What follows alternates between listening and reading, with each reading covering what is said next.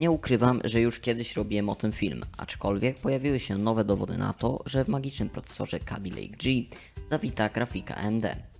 Ja jestem Hardware, a tu mój materiał. Jeśli chcesz docenić moją pracę, to zostaw łapkę i skomentuj film. Tymczasem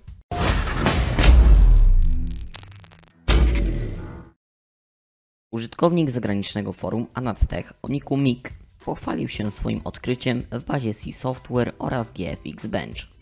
Otóż okazało się, że grafika zatytułowana Intel HD Graphics generacji 9 ma kod 694C na C0. Nie byłoby w tym nic dziwnego, gdyby nie to, że w bazie GFX Bench widnieje benchmark układu AMD o takiej samej nazwie kodowej. Owy układ Intela pochodził z platformy Kaby Lake. Stanowi on oddzielny element chipu Intela. To świta? Kaby Lake G. Czy to on? Możemy tak spekulować. Dużo wskazuje, że jest to trafne założenie.